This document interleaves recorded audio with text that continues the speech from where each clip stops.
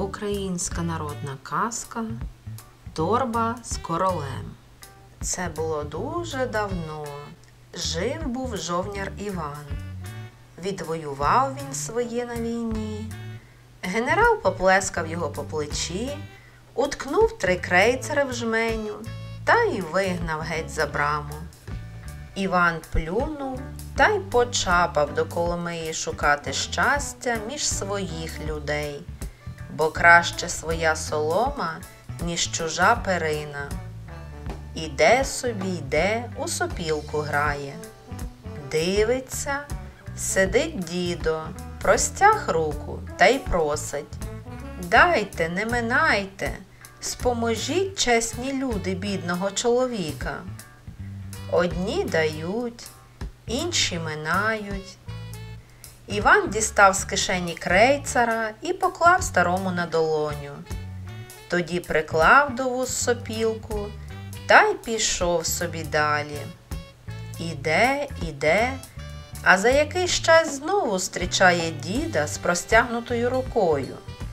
Дістав з кишені ще й другого крейцера, поклав старому на долоню та й пішов далі.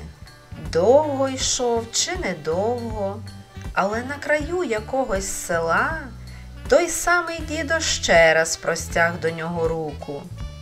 Іван вийняв останнього крейцера і дав жебракові. Каже дідо, хто сам нічого не має, а іншому останнє дає, у того добре серце. Я віддячу тобі, жовняре, за твою щедрість. Скажи, чого ти хочеш? Жовняр подумав і відповідає. Нічого мені не треба, бо якби щось мав, то не було б у чому носити. Хіба дайте якусь торбину, щоб було куди в дорозі кавальчик хліба покласти. Добре, погодився старий. Відтепер, як схочеш щось сховати в свою торбу, то просто скажи фіть до торби, і все полетить туди, і ніяка сила не зможе його звідти випустити.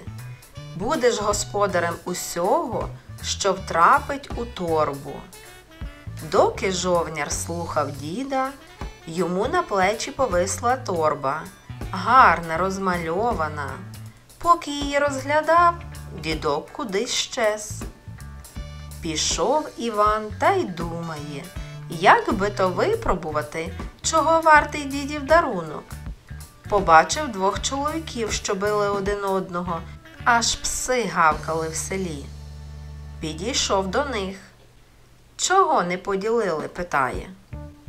Та він мені межу переорав. Ні, то він переорав, каже другий. Схопили один одного й лупцюють далі. Іван розсердився. Ану, халамидники, фіть до торби. Ті чоловіки, як зайці, шугонули в торбу й замовкли. А далі зачали проситися. Випусти нас, добрий чоловіче, бігме більше не будемо переорювати межі. Нам треба засівати поле, бо як не засіємо, то виздихаємо, як руді миші. Жовняр витрусив їх з торби та й пішов собі далі. В одному селі заходить до бідної хатини, проситься переночувати. Ми тебе пустимо, але не маємо що на вечерю дати, бо й самі голодні. Іван подивився, а в хаті повно дітей, худих та обірваних, аж тяжко на них дивитися. Зранку пішов на панське поле, де випасалася худоба, наблизився до корови й мовив Фіть до торби. Приніс ту корову, випустив її перед хатою бідного чоловіка та й помандрував далі. Отак він ходив від села до села і робив людям добро. Нарешті придибав до міста. Ходить по ринку голодний, аж світиться, а довкола крамниці повні хліба. Зайшов до найбагатшої, подивився на полиці й мовив Фіть до торби. Ледве промовив, як буханці, булочки й калачі вже були в торбі.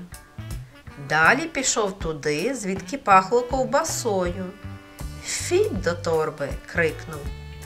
Ковбаса за ковбасою, як довжелезний воловіт, потяглася в торбу.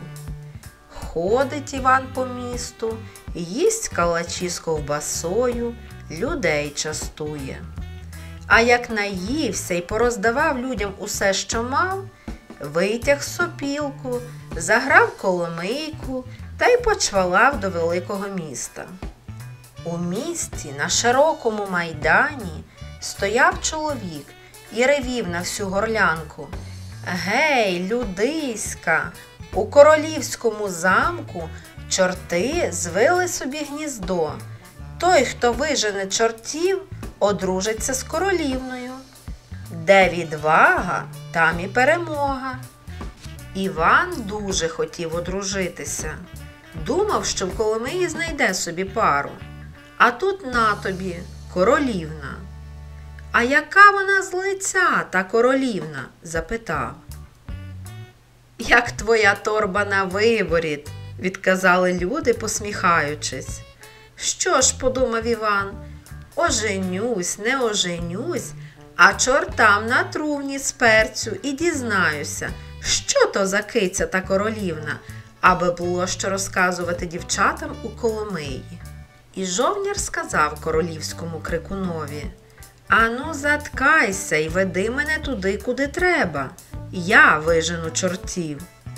Крикун підвів його до королівського палацу, який підпирав небо.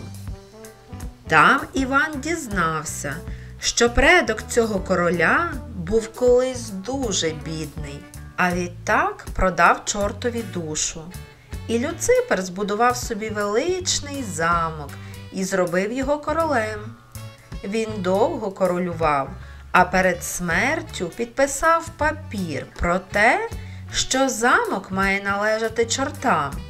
Хто наважувався зайти в замок, той гинув, як муха. Став Іван перед королем і мовив Я вимету чортів, а ти готуй доньці весілля. Добре, каже король. Та дивися, як збрешеш, то будеш мати придебенцію зі мною, сказав жовняр і рушив до замку. Узяв з собою хліба, сала і міцного тютюну. Увійшов, сів у куточок, покурює, попльовує й чекає. Час тягнеться поволі, ніби чорти сточили докупи дві ночі. Раптом задвихтів замок, затряслися стіни, і до зали увійшла добра сотня чортів з опудалом старого цісаря на плечах. Поставили вони те опудало на підлогу і почали щось гелготати. Махають вилами, передражнюють один одного, репетують. Іван так перелякався, аж сорочка на ньому затверділа. Але поволеньки отямився, встав і крикнув Ану, перестаньте фанаберії показувати. Тут до нього кинувся чортище, зморщений, як сушений гриб. Ми його підсмажимо, зрадів. Беріть його. Іван посміхнувся. Ану, всі чорти, фіть до торби.